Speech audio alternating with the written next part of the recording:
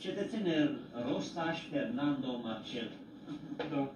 De bună voie și veseli de nimeni, ei în călătorie pe cetățeana Lingura Stalinskaya Porumbița. Da, că și. Așa e?